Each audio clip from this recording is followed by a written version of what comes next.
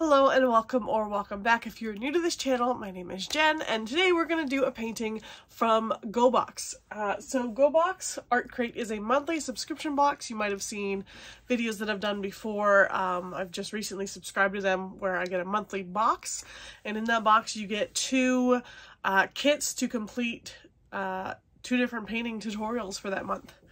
So the unboxing to actually see what's in the box, that's a separate video. Today we're actually going to do one of those paintings and I'm going to share a time lapse of me completing it. So I have everything here in front of me that I need. Um, and this, I can show you, I, I this was a painting I did uh, before with them. Right, so I have everything I need here in front of me. I have my tip sheet here. This is the painting I'm going to be completing today. I have my iPad set up here with the owners of Gogh Box, uh, Jenny and Paul. They are here to teach me this one. You can look them up on YouTube right now, even without this subscription, if you're like kind of worried, like, mm, can I really paint that? You know, take a look at the tutorial. Uh, Gogh Box Art Crate is their YouTube channel. Gogh is spelled G-O-G-H, like Van Gogh. And uh, painting tutorial, Sakura, Sakura Lake as the title. Type that in and you will find this video. We can kind of skip ahead a little bit to where they're actually painting. You always Give you a to use their analogy sneak peek. in class of Middle um, schoolers? Oh. growing out a haircut. Oh, yeah, yeah. Okay, so there's just a sneak peek of that there. I have my canvas here. Um, I do have a towel that I'm going to put down because I do like to paint the edges of my canvas, but I don't necessarily want that on my desk. I have my official paint tray here. My paint colors I have here from Gogh Box. I have my brushes. Um, I'm excited about this one. So let's get to it.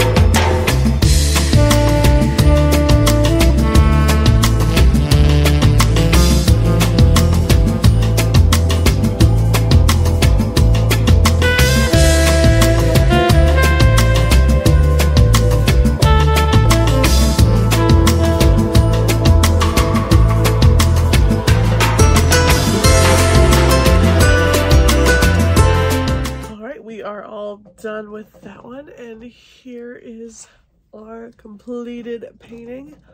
Oh, that's super pretty, super fun. Let me know what you think. And again, uh, go check out Gogh Box.